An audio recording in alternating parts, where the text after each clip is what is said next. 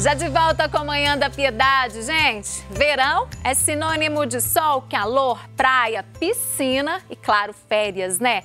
Mas para isso tudo não tornar uma época do ano é, um pesadelo, porque muita gente não se programa, não cuida, né? E aí vira um pesadelo, né? Principalmente para a sua saúde. É importante você ficar muito atento e redobrar os cuidados. Quando eu falo de cuidado, eu estou falando com a sua saúde, né? E, claro, cuidados com a sua pele. Final, ninguém espera tanto, né, por essa estação e no fim para ficar aí com queimaduras do sol, manchas na pele e outros problemas que são típicos, né, dos dias mais quentes.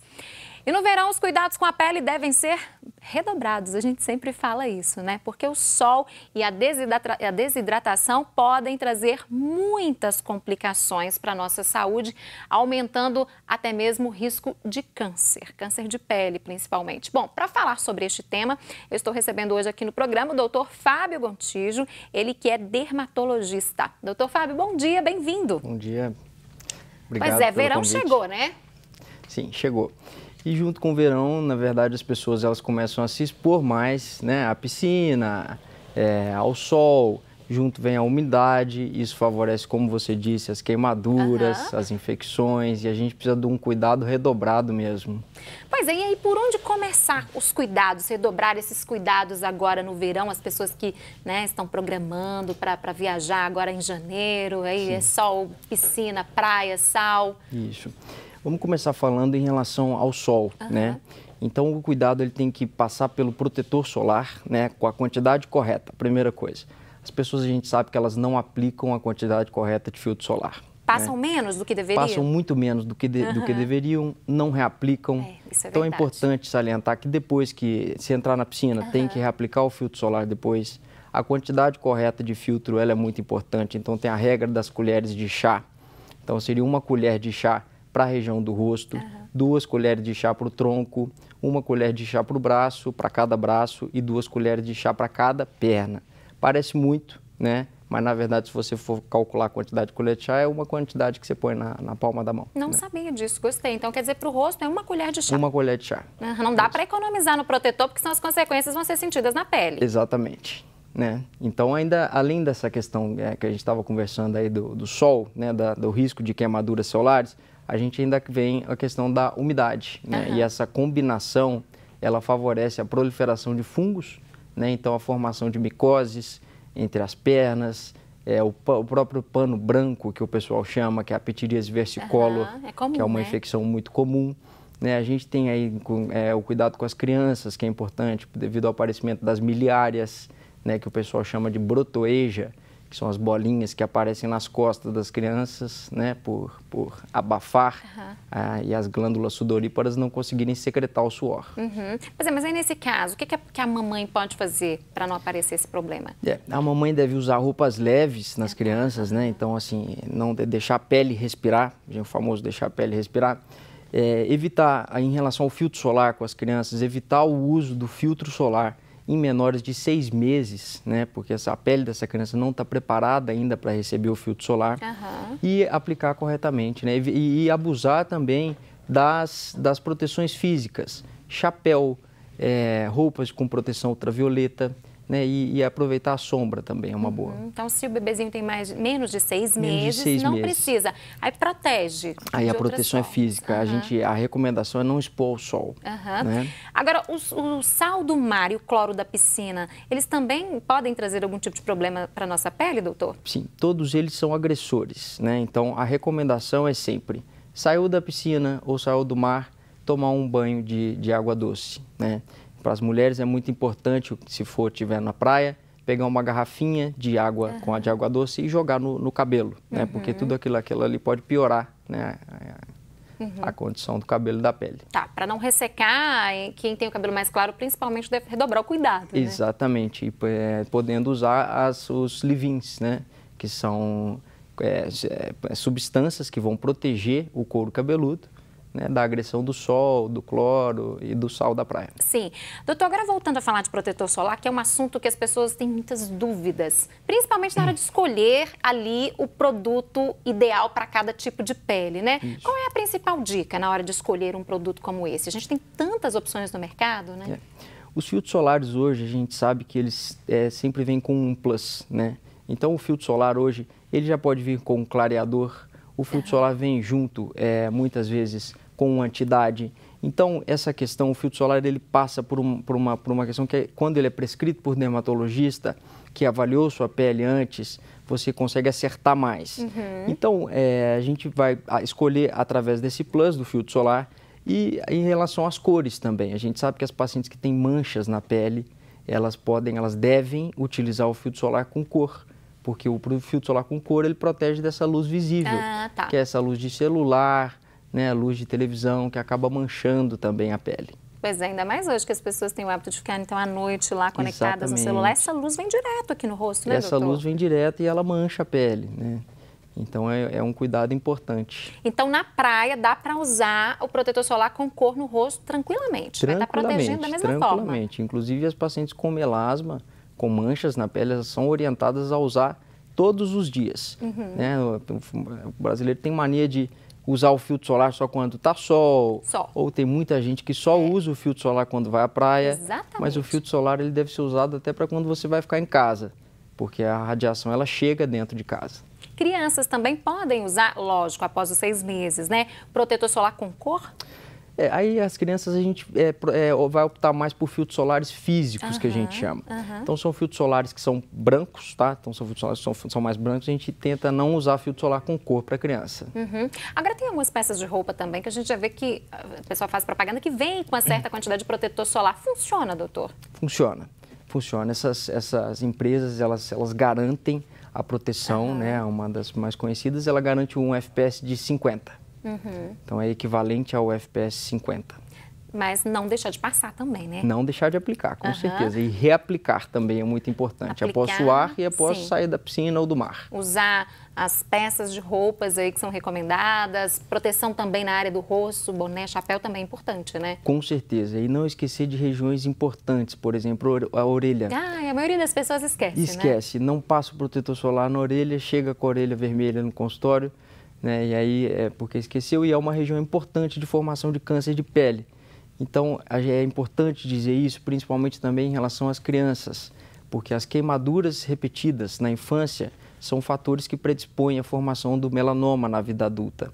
Então, é, a gente sabe que o câncer de pele é o mais comum, né? É o mais comum no Brasil. E quando ele é detectado precocemente, ele tem 100% de chance de cura. Uhum. Né? Então, a gente tem que evitar aí a, a exposição solar e fazer visitas frequentes ao dermatologista para avaliação da pele e detecção precoce. Se a família vai viajar para a praia, por exemplo, agora a mãe, o pai estão em dúvida de produtos para usar, para passar né, nas crianças, né, para aplicar protetor solar na criança, o ideal é procurar, então, antes de uma viagem, um especialista. Com certeza. O especialista vai avaliar a pele, vai fazer o exame, que seria o exame anual também das lesões, e além disso fazer a prescrição dos filtros solares, dos produtos para proteção do cabelo e do hidratante que vai ser aplicado depois que o paciente chegar em casa, tomar um banho, tirar aquele filtro solar e né, hidratar a pele. Pois é, queria falar dessa questão também, Isso. porque a gente está falando do, do, protetor, né? Da proteção, aplicar filtro solar antes da pessoa se expor ao sol. E depois, quando chega em casa, é ideal ter um produto específico pós-sol para aplicar?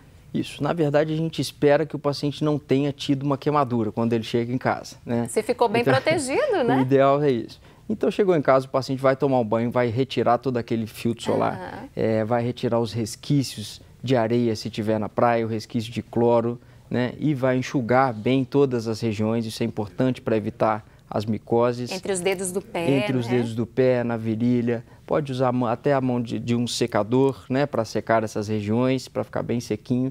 E vai aplicar um bom hidratante no corpo depois. Uhum. Né, as pessoas perguntam muito qual é o hidratante ideal. Isso. Né? O hidratante ideal ele depende do tipo de pele da pessoa.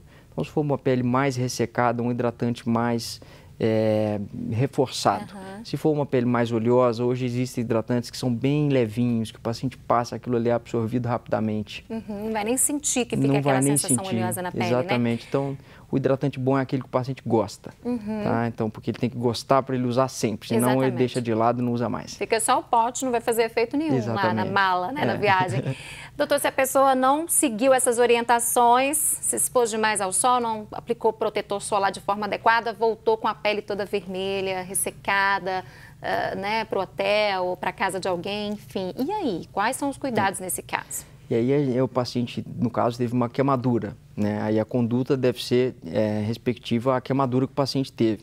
Se for uma queimadura é, de primeiro grau, só um eritema, uma vermelhidão da pele, ele vai aplicar um, um hidratante, é, uma loção pós-sol, como você disse, é interessante. No caso, se teve formação de bolhas, é importante procurar o pronto-socorro, uhum. procurar o dermatologista, porque aí vai ser uma conduta específica. Né? E tomar muito cuidado, porque com é, a gente é, tem casos de, de, pacientes que têm insolação, né? então, é, que, que, é um caso gravíssimo, uhum. né? não, é, vai além da queimadura. Então, é, o sol ele, ele é danoso, ele é bom para a nossa pele, porque ele produz a vitamina D, mas ele também produz muitos danos. Mesmo com todas as informações, todas as orientações, ainda é comum chegar pessoas com casos de insolação, doutor? É muito comum. Olha só. É muito comum. As pessoas esquecem, é, dormem no sol, né? às vezes a mistura de bebida alcoólica é, acaba dormindo e, e quando vê tem que ir para o pronto-socorro porque teve um quadro grave de insolação. Agora, muitas pessoas também, eh, antes de viajar, querem deixar a pele bonita, querem fazer alguns tratamentos, em Isso. alguns casos fazer depilação. Isso. Algumas pessoas optam por depilação a laser ou, enfim, outros métodos. Tem alguma indicação, algum cuidado, algum tempo necessário para que as pessoas façam esses procedimentos antes da exposição solar? Tem sim. É, os pacientes que, que, estão se submetendo a tratamentos a laser, uhum. eles devem evitar o sol.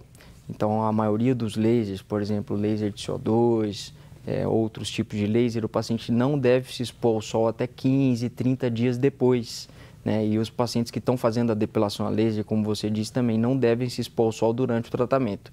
Uhum. Foi muito é, bacana você dizer isso, porque os pacientes também gostam de se depilar com as lâminas e isso não deve ser feito antes da exposição solar, devido ao risco de, devido ao risco de formação de manchas. Né? Ah, né? Porque se então você raspa os pelos antes e se expõe ao sol, a tendência de formar manchas é maior. Uhum, então tem que procurar fazer esse planejamento bem antes. Antes, exatamente. Assim como a formação também de pequenos hematomas para pacientes que fazem botox uhum. e preenchimento, eles não devem se expor ao sol né, até uma semana ou então dez dias depois. Conheço muita gente que gosta de fazer peeling também, é. o mesmo cuidado. Pois é, os peelings nessa época a gente não faz. Né? A recomendação é que, não que a gente não faça, porque a gente sabe que por mais que o paciente se proteja, a gente vive num país tropical e o sol é intenso. Uhum. Então, os peelings não são recomendados nessa época. Pessoas que também usam algum produto específico para clareamento de manchas nessa Isso. época, o tratamento deve ser suspenso, doutor? A gente orienta suspender uma semana antes. Né? Pacientes que usam Roacutan, isotretinoína, a gente orienta que, que suspenda uma semana antes. Para evitar problemas, pra né? evitar. né? Tatuagens, cicatrizes, tem que ter um cuidado especial para não manchar ali na praia, tem que proteger mais? Sim. Os pacientes que fizeram cirurgia e estão com uma cicatriz, ou como você disse, fizeram tatuagem, eles devem é, lançar a mão da proteção física. Ah. Então, eles devem cobrir a região, é, com, seja com micropore, e tudo mais. A exposição solar direta não é recomendada. Agora, muitas pessoas querem, têm a pele mais clarinha, querem ir para a praia e querem ficar com aquela cor bonita, bronzeada, Isso. né? E aí levam bronzeadores também. Como é. que deve ser o uso desse produto? Ou se deve usar? É, né? A gente não recomenda o uso dos bronzeadores. Né? Na verdade, o que a gente recomenda é uma alimentação muitas vezes rica em carotenos, uhum. então a ingestão de cenoura, ah, tá. é, beterraba, tudo mais. E a gente é, e as loções também que os pacientes podem passar, que são loções autobronzeadoras. Então ele, ele aplica essa loção e aguarda algumas horas e a pele acaba ficando bronzeada, mas não é, sem exposição ao, ao sol.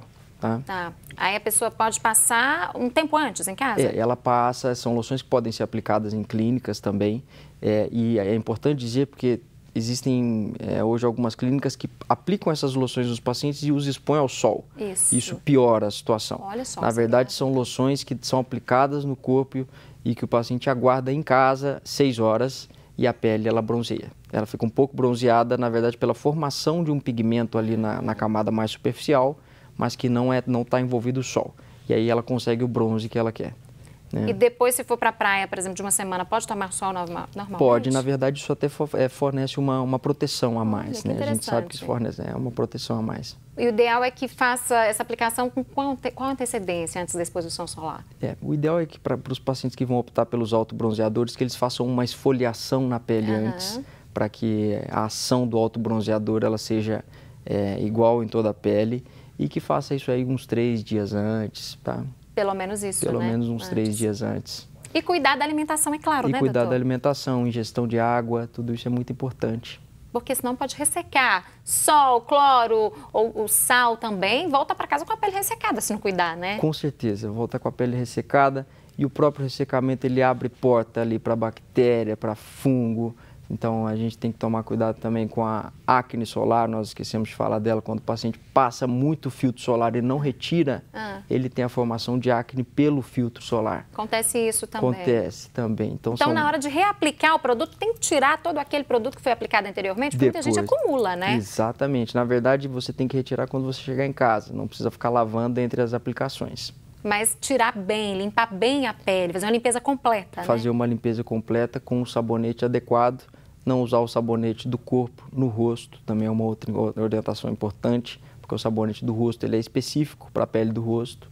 Então, são um conjunto de orientações que o paciente tem que seguir para conseguir aproveitar bem o verão. Pois é, alimentação, hidratação e todos esses cuidados, né, todas essas dicas que você passou, quem está nos acompanhando vai conseguir aproveitar de uma forma bem tranquila esse período de férias, esse verão, né? Com certeza. Se teve problema com manchas depois que voltou para casa, aí é, é hora de procurar um atendimento dermatológico também. Exatamente, atenção especial às manchas, né? Então as manchas em geral que são formadas por podem ser melasmas, uhum. né? O paciente tem que procurar o médico, não evitar fazer a automedicação, utilizar a pomada que a amiga indicou e atenção às pintas, né? As pintas, o paciente tem que prestar atenção em relação até a regra do ABCDE, que se a pinta ficou assimétrica, é, a letra A, se a borda da pinta modificou, se a, ou a letra C tem mais de uma cor, ou a letra D, se ela tem um diâmetro que é mais que 6 milímetros, ou a letra se ela está evoluindo, se é uma pinta que está mudando, deve procurar o dermatologista. Ficar de olho nas Ficar de olho, também, com outra certeza. dica.